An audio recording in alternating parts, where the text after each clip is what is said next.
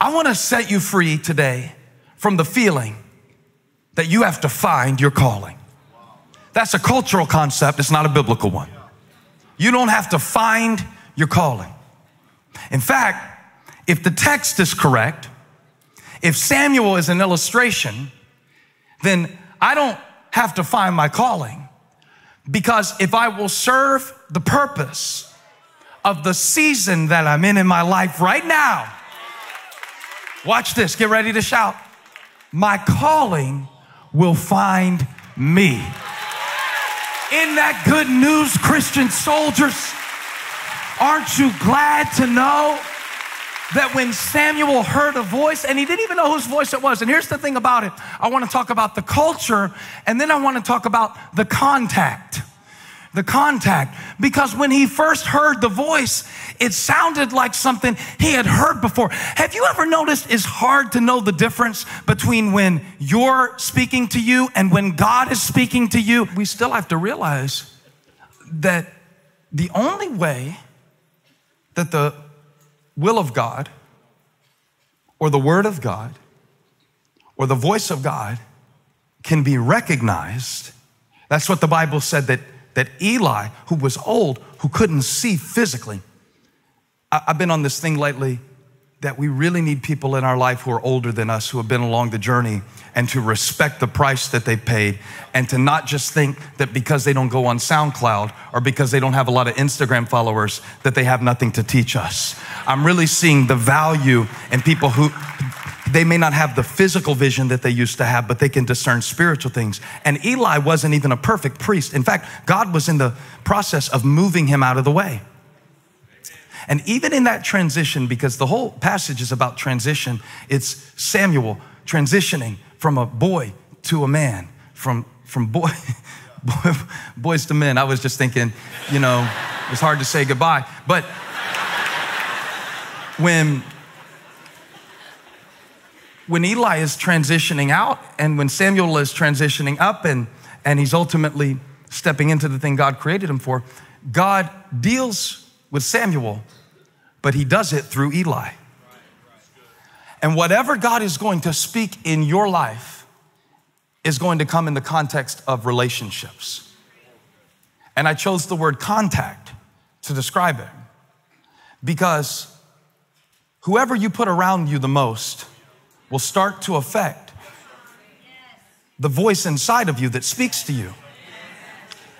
And have you ever noticed that God's voice sometimes in your life sounds like your wife. Sometimes for me, it sounds like my kids. Sometimes in my life, I've noticed that if I am not selective about my contacts, I will start hearing, I don't mean like out loud voices. I don't want you to send me off after I preach today or anything like that.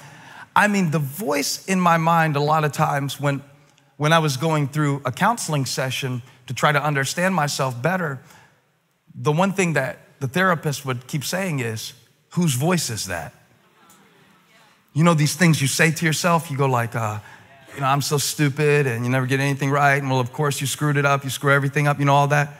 And she keeps saying, whose voice is that? Whose voice is that? And I didn't know if she was just trying to get me to say, you know, it was my dad, you know, my mom, like the point of all therapy. My diapers were too tight, I admit it. But what I realized is, that most of us who are not clinically insane don't actually hear voices, we process thoughts.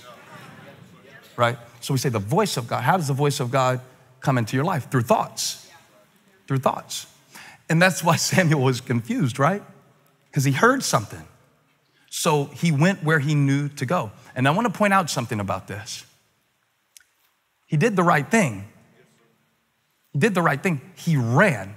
I noticed the Bible said that when he heard his name called, Samuel, first of all, it didn't sound, it didn't sound strange to him.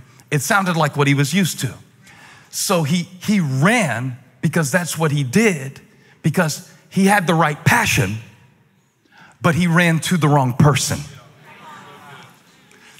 Some of you right now, you have the right passion, but you're running to the wrong person or the wrong place. Now, this is not only true in the case of Samuel, it was true of Moses. God called him to deliver his people from the Egyptians. Moses had the right passion. But where he messed up, listen to this, you see, when he killed the Egyptian, it was the right passion, but it was misplaced. He tried to do it his way. He didn't get it right the first time. And some of the things that you've gotten wrong in your life, some of the mistakes that you've made, it was God stirring you up, but it was Eli that you ran to. You ran to the thing that God was trying to remove out of your life because that's what you were used to. You ran to the thing that you were familiar with because it's all your mind could understand. And so God gave you a gift, but you used that gift for you for a little while until you found out unless I offer the gift back to the giver, it's gonna come back empty. But God brought you here today to let you know that was my voice calling you. That was me that gave you that talent. That was me that made you good at that. That was me that opened the door for you. That was me that gave you that responsibility. That was me that gave you health. That was me that gave you strength. That was me that gave you that connection.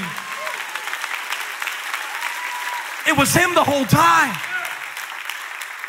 It was it was the Lord that called Samuel, but it was Eli that Samuel ran to. What are you running to?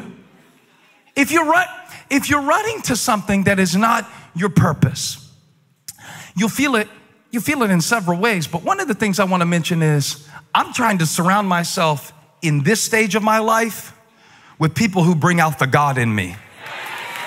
And that's just me. Now, I don't mean I'm gonna be mean to people who don't know the Lord or I'm gonna go and live in a monastery or something like that. But, you know, there are some there are some texts that I don't return in this stage of my life because I feel like I'm in a season where I'm trying to do important things and my calling is valuable. And so my contacts are very important because certain stuff is contagious. And I know there are certain people, when I get around them, I, I, feel I feel something rise in me that lets me know I can overcome. And I need them around me. I need them to rub off on me. I need them to speak into my life. I need them to encourage me. I don't need people who are laying back on the last thing God did in this season of my life. I need people to push me forward. Yes, I do. Yes, I do.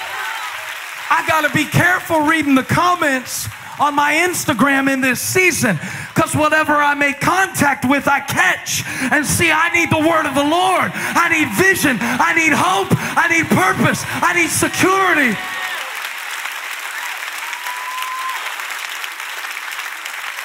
And so he runs to Eli, but Eli tells him, It's God you need to speak to. And the right contacts in your life will always point you back to the only one who has real power. Thank you, God, for this word. I feel your spirit on this one. This is gonna help you. Because what? The concept of calling that most of us have is that you're gonna go on a 40 day fast in the Holy Land and God's gonna speak to you when you walk where Jesus walked on the Sea of Galilee. But the Lord is not gonna speak to you on the Sea of Galilee from a voice on the water. He's gonna speak to you, and I know you don't wanna hear it because it's sexy to think that some someday there's gonna be a voice that speaks from heaven. It's not gonna be like that. It's gonna sound like Eli.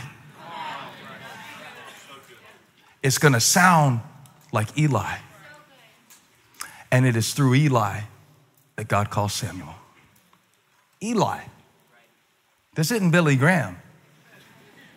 This is the dude who blew it. And this is how bad he blew it. Watch what ultimately happens when Samuel, after three times, everybody say three times. How many times do I have to tell you? One time, Holly, she loses her temper with our kids a lot. Y'all pray for her. Just kidding. She's a very patient mom. But one time she was so mad at Elijah. He was only about four. She said, How many times do I have to tell you? He got this real fear look in his eyes. He goes, Three times.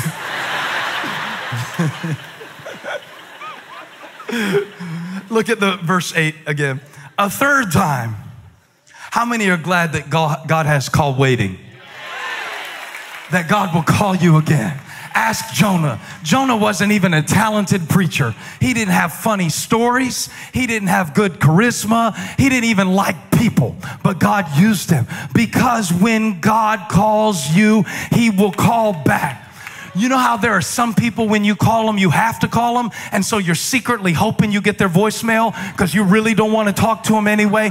Some of you think God is like that, like He really wants someone else, and He's really glad that He doesn't have to deal with you. But God wants you. God wants you. God chose you. God put the genetics in you, the DNA in you, the, the passion in you. The opportunity is for you. What God has for you, it is for you. That's why you don't have to be jealous, insecure insecure, bitter, resentful. That's why you don't have to get back. That's why you don't have to take revenge. Because what God has for you is for you.